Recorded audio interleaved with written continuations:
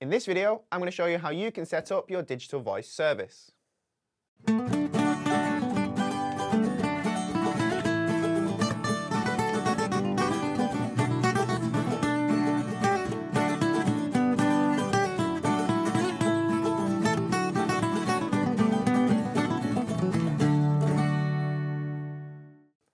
So there are three main ways you can use your digital voice service.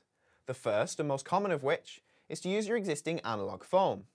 And all we simply do is connect the analog phone into the back of the Fritz box using this black adapter here. The second is to use what's known as a DECT phone. Now this is a digital electronic phone that will purr to the Fritz box by simply pressing a couple of buttons. And I go through how to do that in this video here. The third way to do this is to download the Fritz Fon app, and that's F-O-N, from your App Store on your mobile device. Once you have downloaded this, I go through how to use this in this video here. But for the purpose of this video, we're going to look at the setup of the analog phone.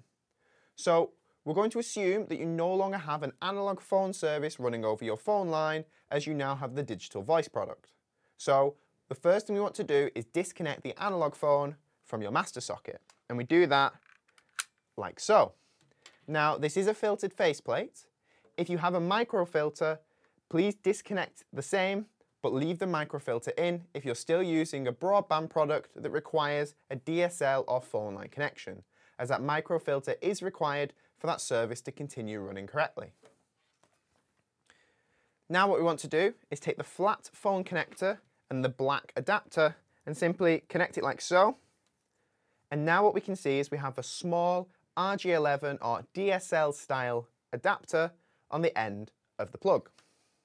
So now what we need to do is turn it around. And on the back of the Fritz box, you'll find the black FON or FON port. And what we want to do is connect the adapter in here, like so. And that's it.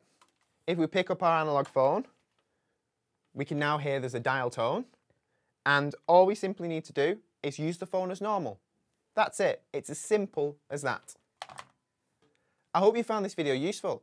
If you have, do please click on that like button. If you want to see more videos like this, do please click on that subscribe button. But until next time, thank you very much.